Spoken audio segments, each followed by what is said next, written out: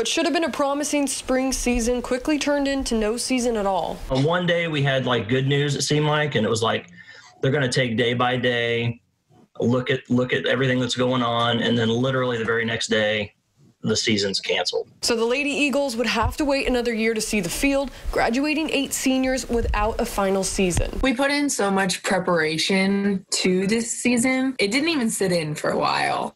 And it was just kind of like a whoa, like this is over.